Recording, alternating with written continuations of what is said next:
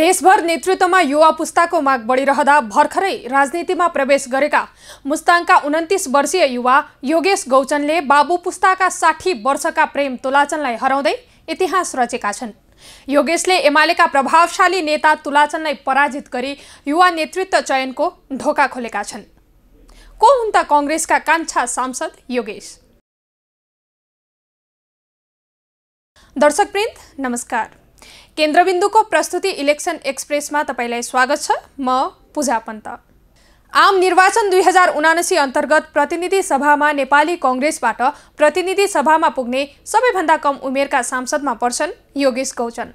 झण्डै चार दशक मुस्ताङको राजनीतिमा रहेका कङ्ग्रेस नेता रोमी गौचन थकालीले यसपटक प्रतिनिधि सभाबाट विश्राम लिई टिकट आफ्नै छोरा योगेशलाई दिँदा धेरैले एमालेका प्रभावशाली नेता प्रेम तुलाजनका अघि उनको केही जोड नचल्ने ठोकुवा गरेका थिए। हुन पनि दुई हजार चौहत्तर सालको निर्वाचनमा प्रेमले रोमीलाई नै हराएर संसद प्रवेश गरेका थिए। कङ्ग्रेस नेतृत्वले मुस्ताङका जिल्ला सभापति समेत रहेका रोमीलाई प्रतिनिधि सभा र प्रदेश सभाको टिकट दिएर पठाएको थियो। रोमीले आफै उम्मेद्वार हुन रुचि देखाएनन् र छोरालाई टिकट दिए। योगेशले तिन हजार नौ सय बयानब्बे मत ल्याएर चुनाव जित्दा एमालेका तुलाचनले तिन हजार अठहत्तर मत पाए। दस हजार नौ सय सन्ताउन्नजना मतदाता रहेको मुस्ताङमा आइतबार भएको निर्वाचनमा सात हजार दुई सय तिस मत खसेको थियो। दुई हजार चौरात्तरको चुनावमा कम मतान्तरले कङ्ग्रेस पराजित भएको क्षेत्रमध्ये मुस्ताङ पनि एक थियो। एमालेका तुलाचनले तिन हजार पाँच सय चौवन्न मत पाएर निर्वाचित हुँदा कङ्ग्रेसका रोमीले तिन हजार एक सय एकासी मत ल्याएका थिए। यसपटक प्रत्यक्षमा उम्मेद्वार हुने रुचि नदेखाएका रोमी समानुपातिकतर्फ पनि बसेनन्।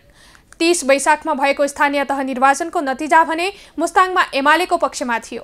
पाँच स्थानीय तहमध्ये चार पालिकाको अध्यक्ष एमाले जितेको थियो भने एउटा पालिकाको अध्यक्ष र दुई उपाध्यक्ष कङ्ग्रेसले जितेको थियो।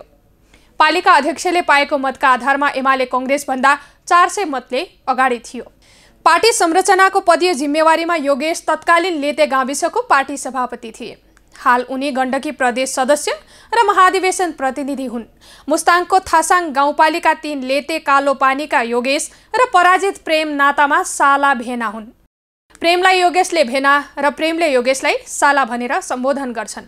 भारतमा ब्याचलर अफ बिजनेस म्यानेजमेन्ट सकेर फर्किएका योगेश राजनीतिसँगै व्यापारमा पनि संलग्न छन्। गौचनको लेतेमा कालोपानी गेस्ट हाउस छ।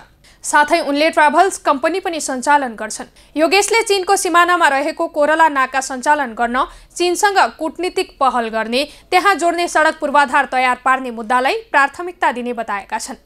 जोमसोम कोरला सडक कालोपत्रे गर्ने र बेनी जोमसोम सडकलाई स्थायी र दीर्घकालीन निकास दिन पहल गर्ने मतदाता समक्ष प्रतिबद्धता गरेका छन्। हवस् त इलेक्सन एक्सप्रेस अहिलेलाई यति नै। केन्द्रबिन्दु टिभी हेर्दै र केन्द्रबिन्दु डट कम पढ्दै गर्नुहोला। नमस्कार।